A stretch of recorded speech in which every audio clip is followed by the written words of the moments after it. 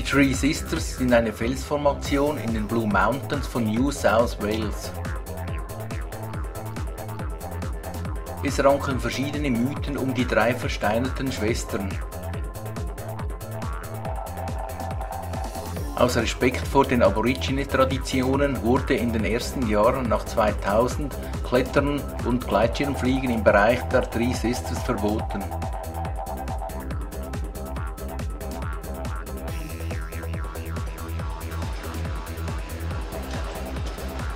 Sydney ist die größte Stadt in Australien. 1788 gegründet ist sie heute das Industrie-, Handels- und Finanzzentrum Australiens und ein wichtiger Tourismusort. Hyde Park als ältester Park in Australien besitzt nun auch ein Kriegsdenkmal und die Statue von Captain Cook, welcher 1770 die Ostküste von Australien entdeckt hatte.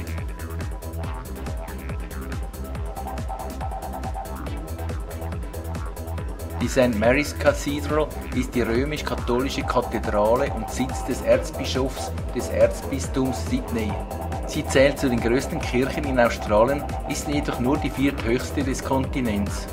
Der Grundstein wurde 1821 gelegt, sie brannte jedoch 1865 ab. Der Grundstein für die heutige Kathedrale wurde im Jahr 1868 gelegt. Zwei im Originalplan vorgesehene Türme wurden erst im Jahr 2000 vervollständigt. Die Land and Property Information ist verantwortlich für Land, Immobilien, Vermessung und Kartierung in New South Wales. Die Sydney Mint von 1811 ist das älteste Gebäude in der Innenstadt. 1926 wurde die Münzprägeanstalt geschlossen, weil die Prägeanstalt in Melbourne und Perth effektiver arbeiteten.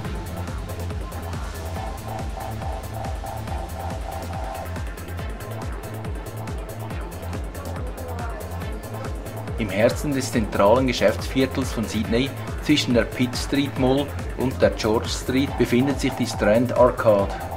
Die Arcade war eines der ersten viktorianischen Gebäude in Sydney. Sie hat zwei Depressionen, zwei Weltkriege und zwei Brände überstanden.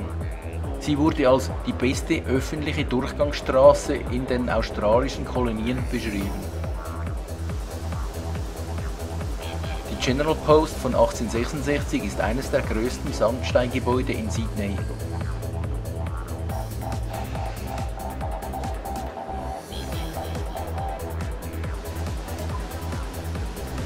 Das Queen Victoria Building ist heute Sitz einer Vielfalt von Geschäften und Marktboutiquen.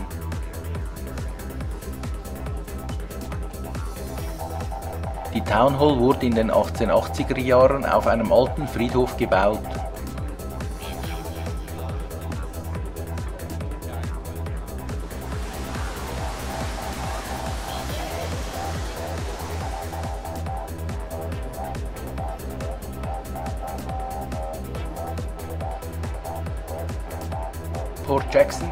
Natürliche Hafen von Sydney. 1788 trafen britische Schiffe mit rund 1000 Männern und Frauen, circa drei Viertel von Sträflinge, in Port Jackson ein. Sie gründeten am Hafen die erste weiße Siedlung Australiens. Am Hafen befinden sich die Wahrzeichen der Stadt, die Sydney Harbour Bridge und das Sydney Opera House. 1959 begannen die Arbeiten der Opera. Infolge der komplexen Baustruktur verzögerte sich der Bau bis 1973. Statt 3,5 Millionen kostete die Opera nun 50 Millionen Pfund.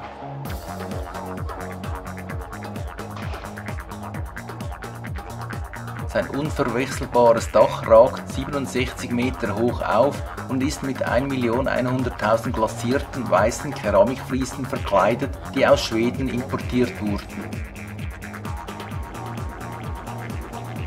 580 Pfähle, die 25 Meter tief im Boden verankert wurden, tragen das etwa 160.000 Tonnen schwere Bauwerk.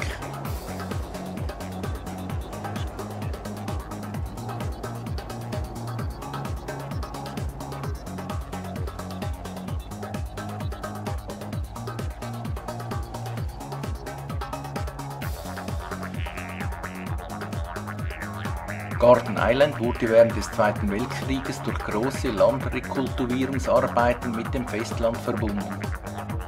Die nördliche Spitze der Garden Island ist für die Öffentlichkeit zugänglich und enthält das Royal Australian Navy Heritage Center Museum. Die Gardeninsel ist so benannt, weil sie ab 1788 als Küchengarten von Offizieren und Besatzung des ersten Flottenschiffes gedient hatte.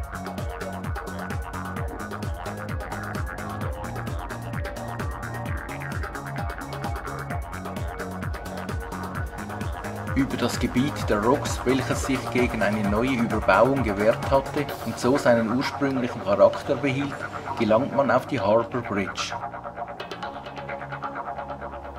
Nach acht Jahren Bauzeit wurde im März 1932 Sydney Harbour Bridge offiziell eröffnet.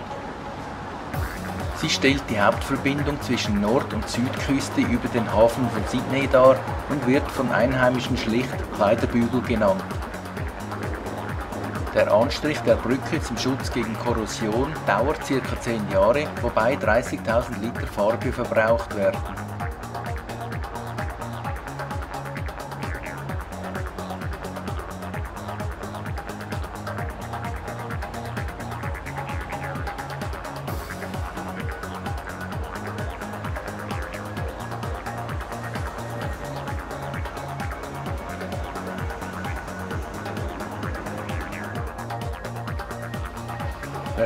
Souvenirs sucht, ist bei Paddy's Market richtig.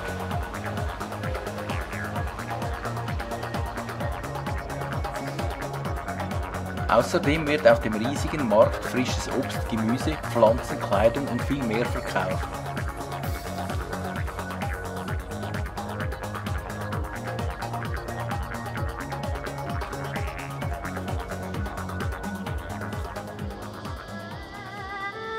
Chinesische Garten in Sydney wird auch Garten der Freundschaft genannt.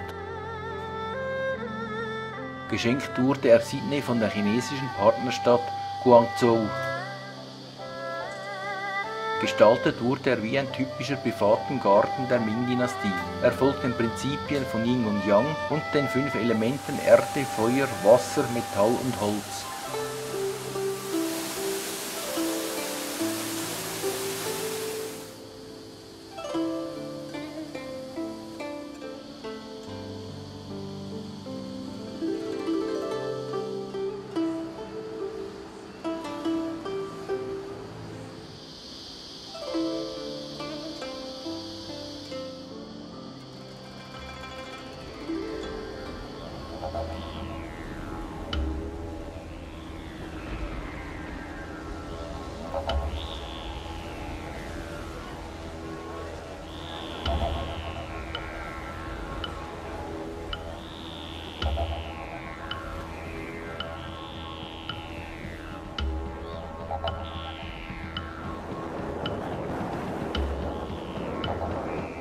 Coffs Harbour ist eine Küstenstadt und wird dominiert von Resorts und Appartementkomplexen, umgeben von Bergen, Bananenplantagen und Farmen.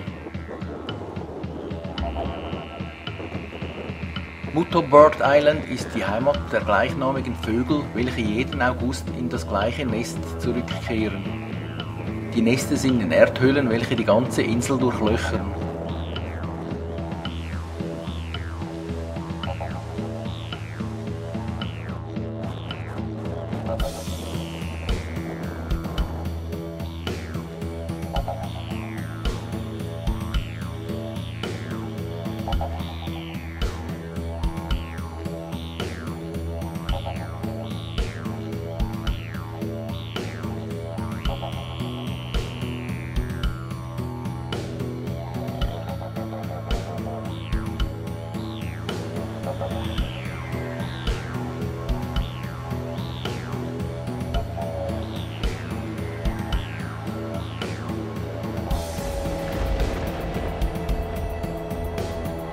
Größte Banane ist in einem Vergnügungspark und die richtigen findet man im Hinterland.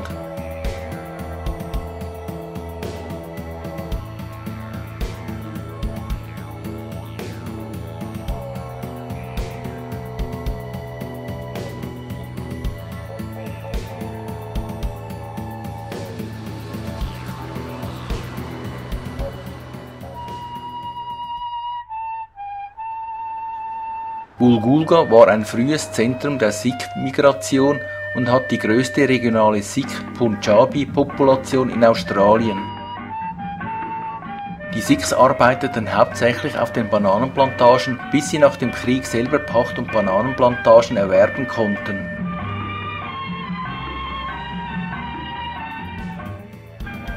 An der Gold Coast ist es entweder friedlich ruhig oder kreischend laut, wo sich in Burley Heaths irische und männliche Vögel treffen.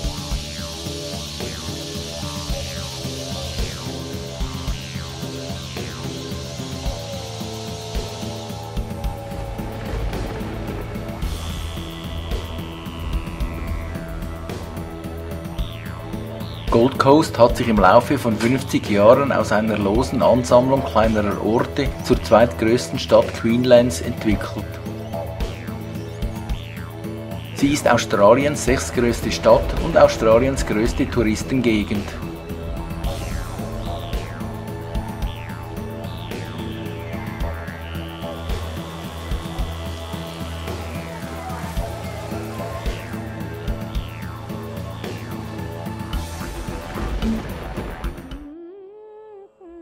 Letzter Blick von den Tambourine Mountains auf Gold Coast.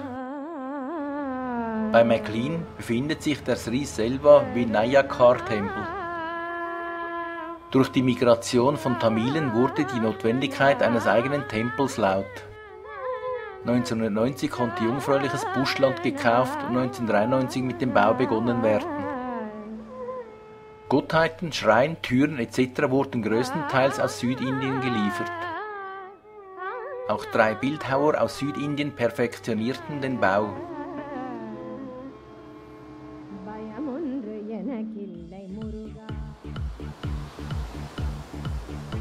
Brisbane wurde 1824 unter dem Namen Moreton Bay als Strafkolonie gegründet und später zu Brisbane umbenannt. 1842 wurde die Strafkolonie aufgelöst und das Land zur freien Besiedlung freigegeben. Nach der Abspaltung von New South Wales im Jahr 1859 wurde Brisbane zur Hauptstadt der neuen Kolonie Queensland ernannt. Die Stadt bekam jedoch erst 1902 offizielle Stadtrechte.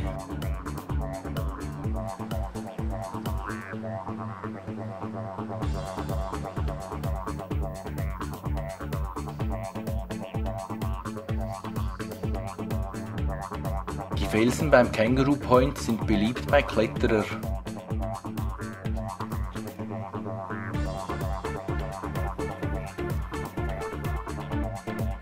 Als Old Government House wird der erste Amtssitz des Gouverneurs von Queensland bezeichnet und ist heute Teil der Universität.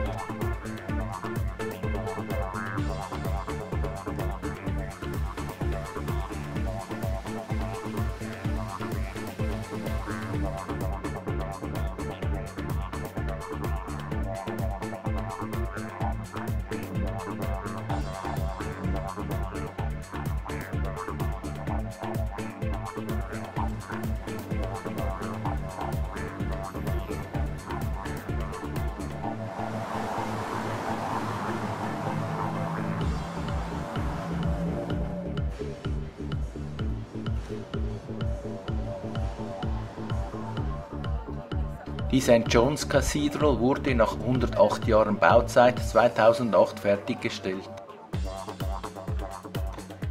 Es ist auch das einzige bestehende Gebäude mit einer Steingewölbedecke in der südlichen Hemisphäre.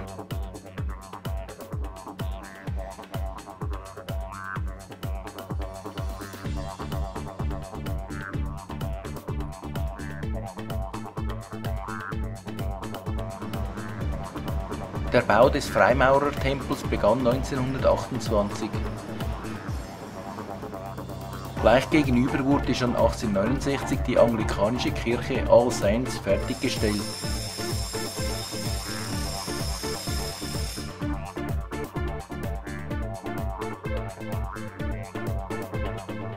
Die alte Mühle wurde in den 1820er Jahren durch Sträflingsarbeit gebaut und ist das älteste überlebende Gebäude in Queensland. Es wurde benutzt als Mühle, Observatorium, Funkmast, Zeitsynchronisation und Museum.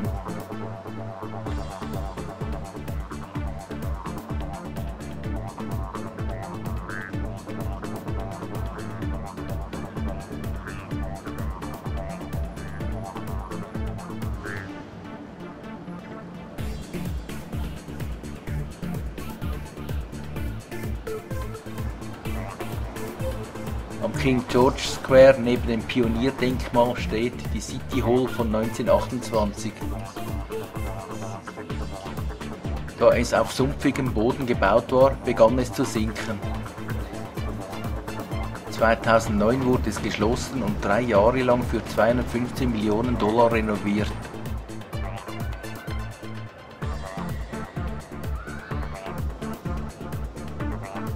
Aussicht vom Uhrturm ist durch die neuen Hochhäuser etwas eingeschränkt.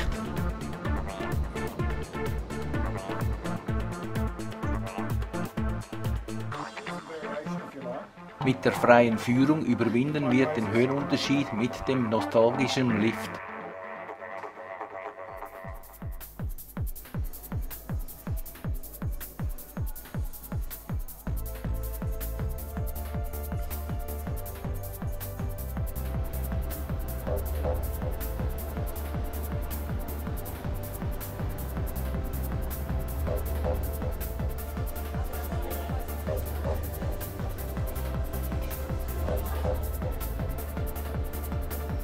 Wer noch übriges Geld vom Reisen hat, kann es im Treasury Casino beim Spielen oder in Bars und Nachtclub vertun.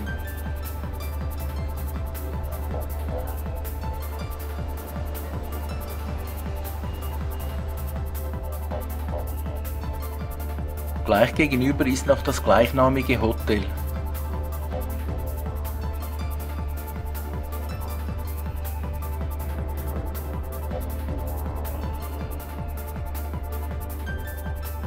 Kurilpa Bridge, eine Allwetter-Fußgängerbrücke, wurde 2009 eröffnet.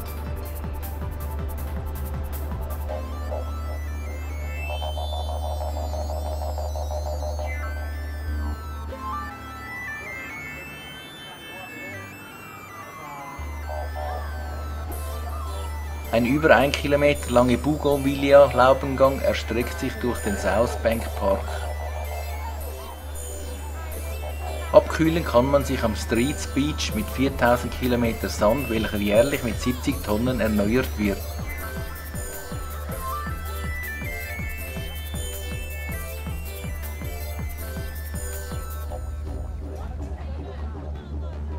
Die Nepal-Friedenspagode wurde für die World Expo 88 gebaut.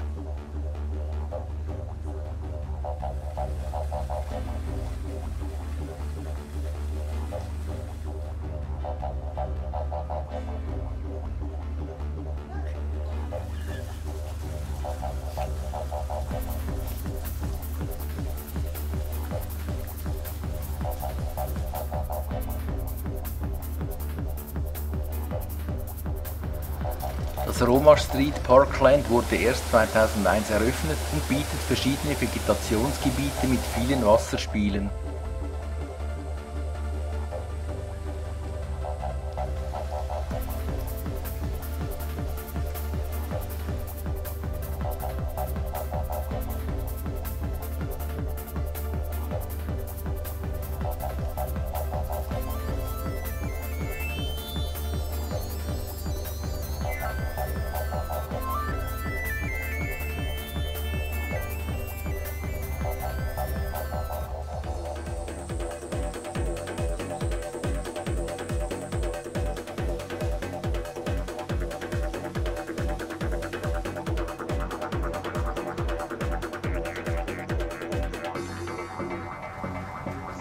Eine Bootsfahrt führt uns auf dem Brisbane River nochmals an einigen Sehenswürdigkeiten vorbei.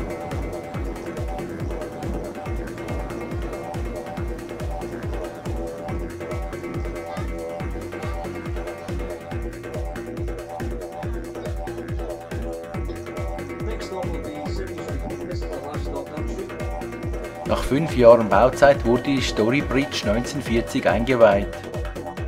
Die sechs Fahrspuren mit 1072 Meter Länge sind der kürzeste Highway in Australien. Das Custom House wurde 1889 für die Zollbehörde gebaut, da der Hafen von Brisbane rasant wuchs. Nach 1988 wurde es überflüssig und an die Universität vermietet.